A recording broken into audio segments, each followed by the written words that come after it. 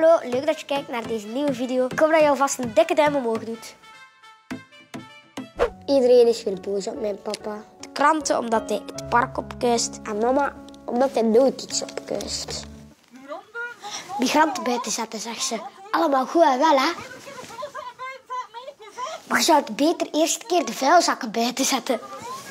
Papa zegt dat dat nu niet meer kan, omdat dat politiek te gevoelig ligt. Ja, ik denk dat dat een uitvlucht is. Het weer. Ik dacht dat ze had bijgelegd. Want er is juist, we zaten aan tafel. En papa had niks gezegd. En mama zei niets. Wat is het? En dan papa.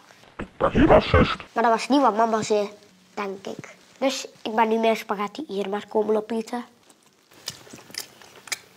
Vandaag was het even beter. Mama was blij en papa was blij. Want papa moet met zijn werk naar New York. Alleen hij vond het wel jammer dat het met Charles Michel en Alexander de Croo was. Godverdomme, zei hij tegen mama. Twee dagen op reis met patatneus en visa papa. Ah, zei mama. Zou je liever met Joël gaan misschien? En toen was het weer ambras. Hallo papa, hoe is het in Amerika? Ja, ça va. Wel een beetje moe zo. Ja, Jasper, je moet een keer proberen in Amerika binnen te komen. Dat is niet normaal. Wat, hè? Ja, hier aan de douane. Ik heb drie uur moeten aanschuiven om dat land binnen te geraken. Dat is gewoon niet menselijk.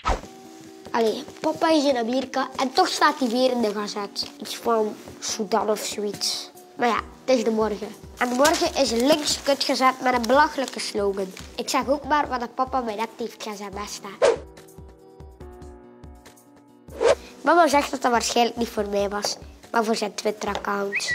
Papa is terug.